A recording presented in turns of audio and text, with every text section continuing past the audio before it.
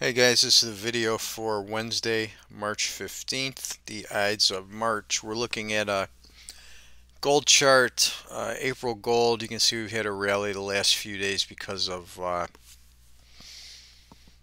the um, banking meltdown that's currently taking place.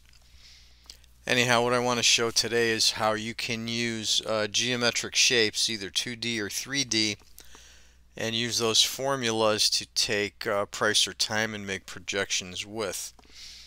In this particular case, I'm going to use the volume of the sphere, so I'm going to use the 3D uh, shape of the sphere where the 2D circle in 3D is spherical. So I'm going to take the volume of the sphere calculation, which is 4 thirds times pi times the radius cubed so in this case, I'm going to take this swing up to this high here from uh, last February.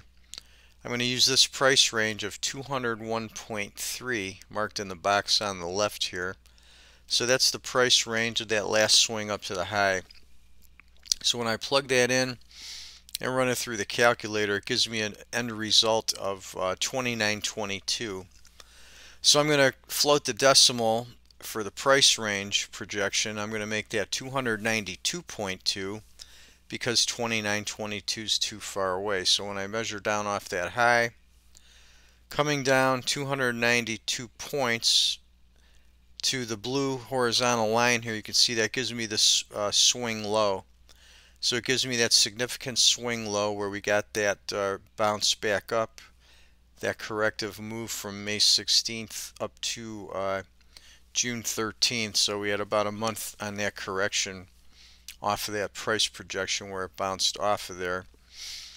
And then it broke, and then it became an area of resistance here in August, and then uh, it became the lid on the top of this consolidation area before it finally gapped through and broke in this, in this uh, past January. And then for time, what I'm going to do is take the uh, 2922, I'm going to float the decimal again and make that 29.22 days. So measuring off of this high, I made four projections of 29 uh, days. The first projection gives me this swing low here. I add another 29 days to there. Gives me the swing high right here.